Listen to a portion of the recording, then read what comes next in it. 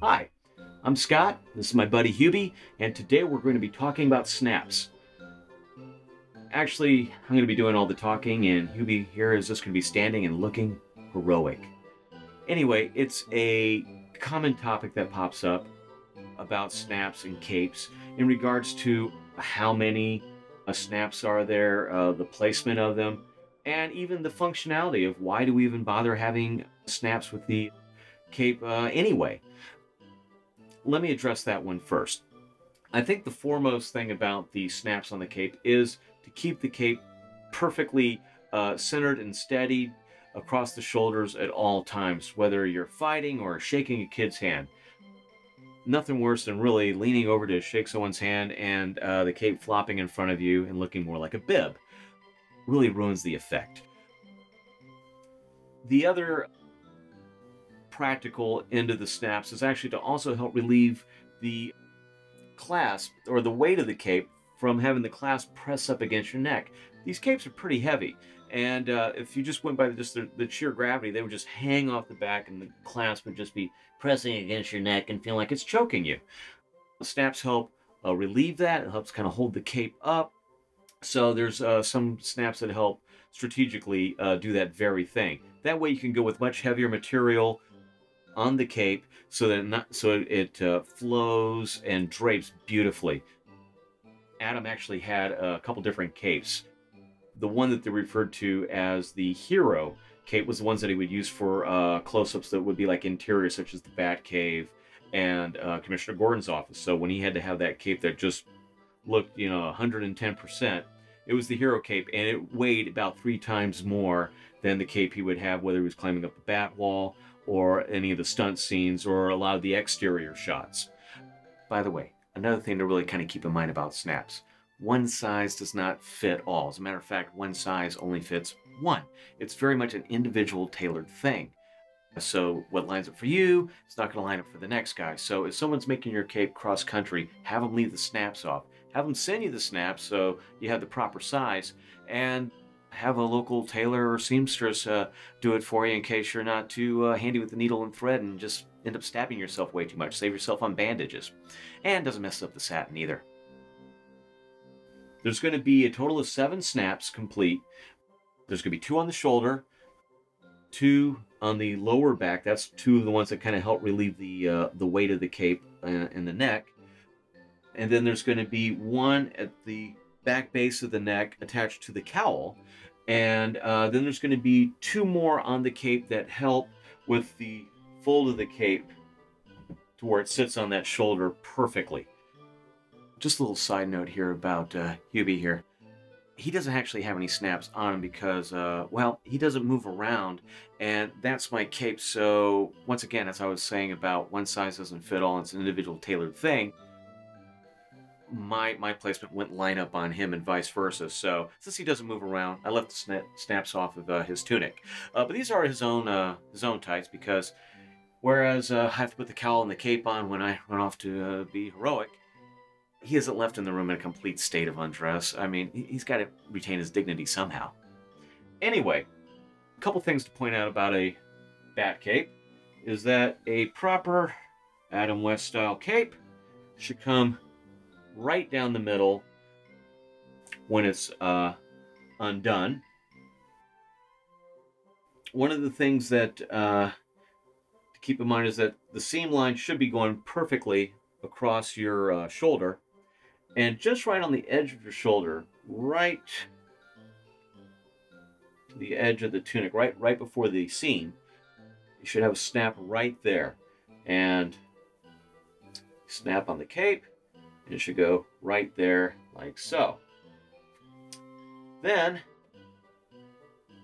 pull that over, should be the same on the other side. The next part I want to show you is actually the snaps that go in the lower part of the uh, back. But first, let me show you the inside of the cape here. Anyway, what you should be able to see right here is the inside of the cape. This snap here representing the one that's on the uh, goes on the back of the cowl, and the two lower ones are the ones that go on the lower part of the back. Now, have Hubie here uh, show you that in a second here. Excuse me.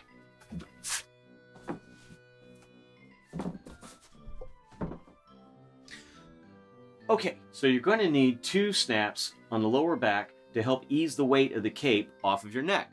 And those snaps would go right here. Or at least let me move out of the way to the miracle of computers. Nice. Also, might be a little hard to see here with the camera, but right up here is the snap on the bottom of the cowl to attach to the uh, back of the cape. Okay, so some of you still want to see the snaps actually on the tunic. Not a problem, I can deliver. Here's the tunic. Here's the back of it with the snaps along the back of the tunic like so. Now who would have thought after going putting those special effects in there and the graphics that you would actually need to see the real thing? But I know better because I know you costume fans out there and I deliver because I'm pulling for you. Anyway, there's more. Let's go. Okay, here's the more tricky part of the bunch. This is where we're actually going to try to get the snaps on the back of the cape. They're going to snap to part of the front of the cape, fold over, and create this perfect fold across the shoulders. This is the probably the most tailored one of the bunch, and is really a fitting type thing, and really kind of uh, really makes or breaks that that cape looking just perfect. Anyway, the snaps I have on my cape aren't going to line up with Hubie, as I said before, so we're going to treat this as if we were doing a fitting on Hubie here. Let's see if this works, okay?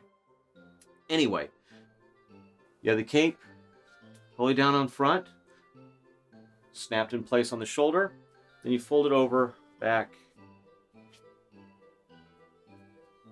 once like that to where you get this really nice angle coming across the uh, shoulder. Then you fold the cape this edge comes back about halfway. Okay? So you got this fold here, you got this fold right here, and with that angle going across the shoulder like that. Okay? So, where's the snap come into play? You folded it back, over, back in front of, front of itself. Now, the snap should be right where this fold meets with the back of the cape. So should have a snap right there. And then right along this fold, right here on the edge, right on the edge of the fold is the other snap. That way the fold doesn't pull away. That way that halfway fold sits right in place every time. When you start seeing the series, whenever they put it on a DVD, you see the back shots of them, you can't help but notice those snaps every time after that. So, you should have the snap on the shoulder. So if you were putting your cape on, you have a clasp. You would snap to the shoulder. You would snap to the back of the cowl. By the way, the snap on the back of the cowl also helps prevent this effect from happening. Keeps it all nice and tucked in, helps ease the weight of the cape off the clasp as we said before. So snap on the back, snap on the shoulders, then the snap of the back, part of the cape, and then these snaps that would go into the lower back. Anyway, that's basically how it looks on that one. you the big guy. Okay. Well, there you have it. Capes, snaps, and you. Until next time, I'm Scott Sebring. It's my buddy Hubie. Do good things. And, uh, just one second. Yes, Commissioner? Oh, sorry, Wally. Let's, let's, let's have it. What's that? Oh, yeah. Yeah. Uh, uh, oh, uh, gotta wear the suit too, huh? Uh, okay. Yeah, no, no, no problem. Uh, yeah, yeah, I'll, I'll a little bit short notice, but, uh, you know, I'll be on my way. Okay, bye. Um, Anyway, uh, Gibby, I'm going to be needing that. Um,